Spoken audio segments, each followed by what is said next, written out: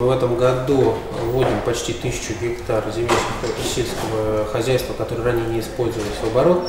Более того, мы их не просто вводим на бумаге, передавая сельхозпроизводителям, а на сегодняшний день эти земли уже распаханы и в следующем году сможем получить отдачу в виде соответствующей продукции.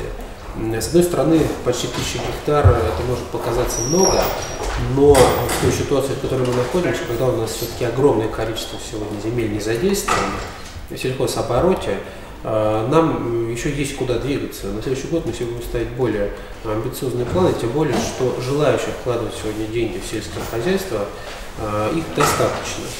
Наша задача поддержать. А такого неплохого результата нам удалось достигнуть, э, на самом деле, очень несложными действиями.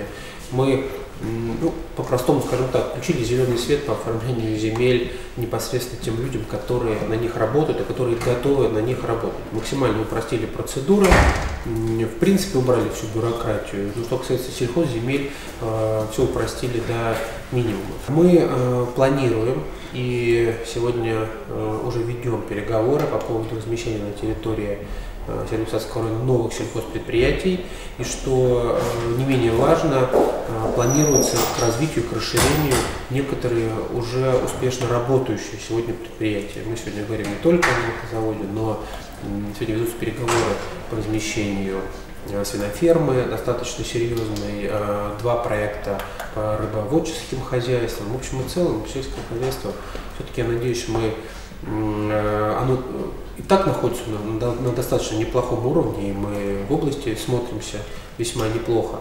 Но все равно нас это пока не устраивает, нам нужно гораздо лучше, тем более, что возможности, какие у Сергея Писарского есть, нам просто надо их использовать в следующем году.